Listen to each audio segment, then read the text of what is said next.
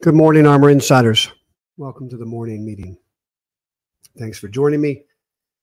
the highlighted group this morning is going to be the cybersecurity stocks. We'll get to that in a minute. Major change to the risk monitor. We're going to talk about that first. How we traded Fed Day in the ARMR Carry portfolio will um, we'll talk about at the end of this and wrap up. So let's talk about the highlighted sector or group that's in focus on our trading desk this morning.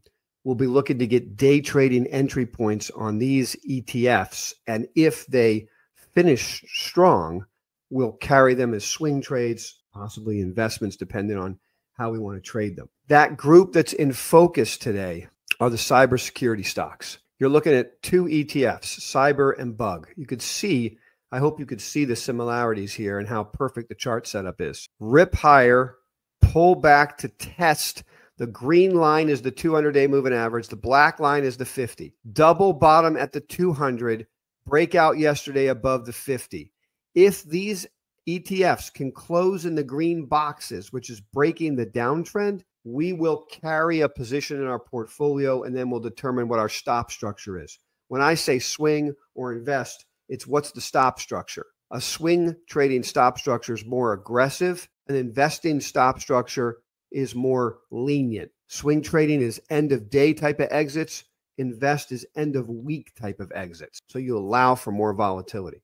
All right. So, cybersecurity, I can hear the rumbling now. Questions are going to be asked. How about this stock? How about that stock? There's a lot of cybersecurity stock, and there's a lot of great stories in the cybersecurity space. Okay. Clearly, the leader is CrowdStrike, up big and blowing out of another base on another blowout earnings number. Another form of a leader is Palo Alto, right? They changed their business model. That created the collapse here, but it's building towards the next breakout, right? And we talked about it right in here. These green boxes is where you can get long Palo Alto and it's starting to move, okay?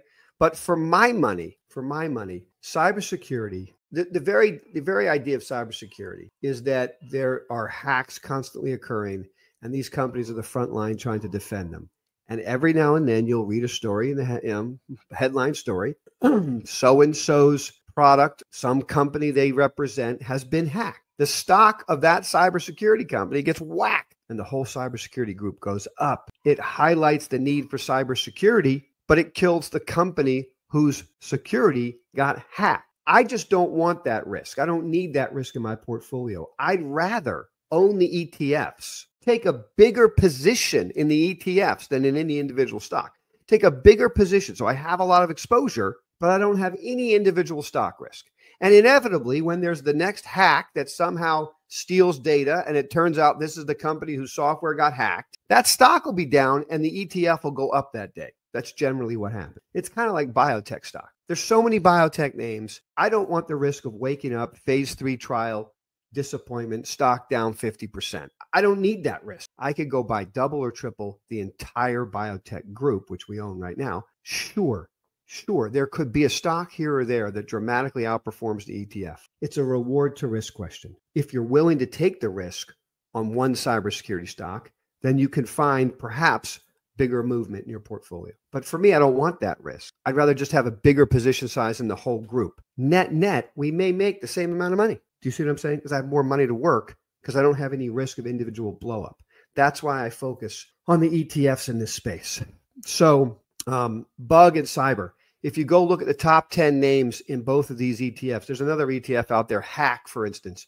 I have no interest in Hack. Go look at the top 10 names in each of these, and you'll see why I have no interest in Hack. I look forward to working with you all again today. I can't wait to carry trade. We're having so much fun. The rest of the portfolio is levitating um, up again this morning after really, I think it's like the biggest day of the year for us yesterday. It was just huge. And the key now is to see where are we by the end of the week. So this whole conversation has been bullish because that's where we read and react to price action. That's what's happening. Caveat market implodes between now and Friday's close. A lot more cash. Risk monitor could be red. Who knows? Probably not. The leaders are leading too much. It won't go red, but I'll have more cash in the portfolio if that happens. So read and react. Follow me on the desk. Follow me on Twitter if you're not. I update there sometimes. Follow me in the Slack room. Ask questions. You can, if you're an ARMR Report subscriber, throw it into the comment section of this video. I'm happy to answer. ARMR Insiders will talk in the Slack room. We'll be on the live feed starting at 9:30. And if you'd like, and, and, and you have trouble kind of executing what I'm sharing with you every day, then I could certainly execute for you. Give me a call and we could see if that relationship makes sense. Numbers, um, find my number. You can DM me, whatever you want. We can have that conversation. All right, everybody, thanks so much for spending your morning with me. And at the end of the day, remember take all this information, figure out your strategy, and be the smart money.